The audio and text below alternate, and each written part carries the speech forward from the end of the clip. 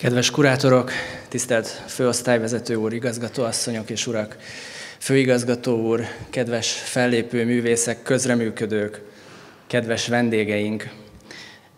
Itt az idő.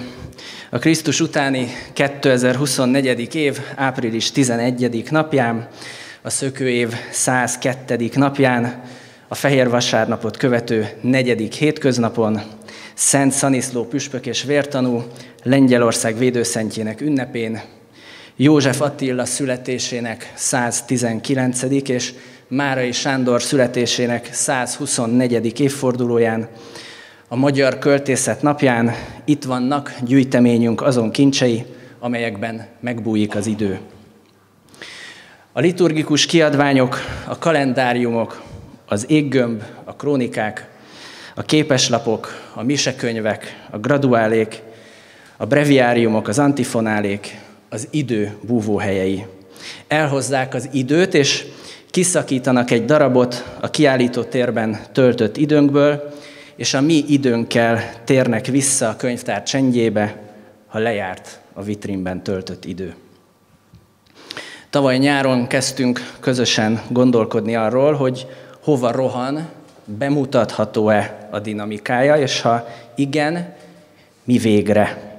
Hosszú hónapokon keresztül adtuk egymásnak időnket az időért. Most kiderül, hogy a Nemzeti Könyvtár mélyéről felhozott időhelyek szóra bírják-e a lineáris, a ciklikus és a pontszerű időt. A Magyar Nemzeti Könyvtár a kultúra és az idő archívuma. Felfoghatatlanul gazdag gyűjteménye alkalmassá teszi arra, hogy innovatív kiállításokkal beszélje el az ember és a kultúra viszonyából képződő tapasztalások formáit. A most nyíló kiállítás az idő három aspektusának értelmezésén túl arra keresi a választ, hogy miképp gondolkodtak eleink a történelmi és a saját időről, hogyan viszonyultak a jövőhöz, hogyan gondoltak a hétköznapokra és az ünnepekre. A kiállítás az időtapasztalatot értelmezi, amely a kiállított tárgyakon túl ott van a rendezvúról késő szerelmesnél, a nyugdíjbiztosító reklámjában, Tar Bélánál, Prusztnál, a nagymama ráncaiban, az olvasásban, a mandulafa virágzásában. Minden nap, életünk minden pillanatában foglalkoztat bennünket az idő, amely uralja egzisztenciánkat referencia két ember között. Gondolkodunk vele, úgy érezzük, hogy képesek vagyunk birtokolni, de valójában csak egy konstrukció, amelyhez órát állítunk, azután megfeledkezünk róla. Annyiféle arca van az időnek, amennyi személyiség, de minden személyiség arcát az idő rajzolja. Arcvonásaink összessége jelenti időben képződő történetünket, történeteink összessége jelenti kultúránkat, amelyet a kultúra intézményei tesznek láthatóvá.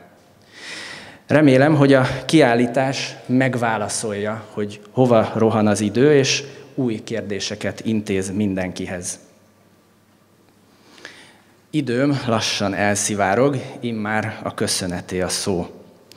Köszönöm Túri Klaudiának, Szovák Mártonnak és Varga Bernadettnek a kiállítás különösen kreatív kurátorainak, hogy tudásukkal, érzékenységükkel elgondolták és megjelenítették a kiállítás koncepcióját.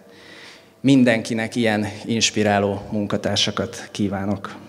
Köszönöm Gazdag Máriának az immár két nemzeti könyvtári kiállításért is nemzetközi elismerést aratott tervezőnek, hogy újra gondolta azokat a tereket, ahol installálhatóvá vált az idő.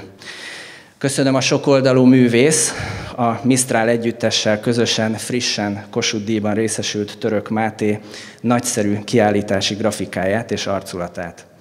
Köszönöm Lénárt Judit és Jezerszki Zoltán menedzseri szemléletét.